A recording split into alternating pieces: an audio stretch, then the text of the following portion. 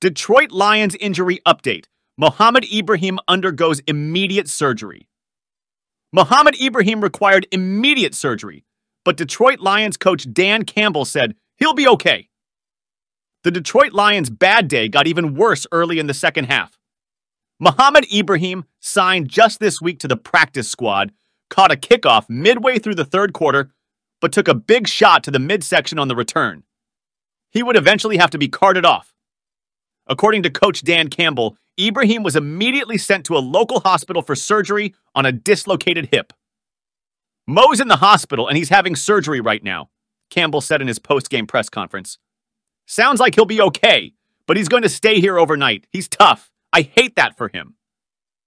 It's a horrible break for Ibrahim, as the rookie running back has spent a ton of his football career fighting injuries.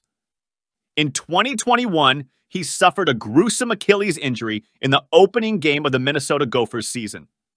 Then, in training camp this year with the Lions, he suffered an injury that caused him to go on IR and eventually reached an injury settlement with the team. It's another tough injury for Lions running backs.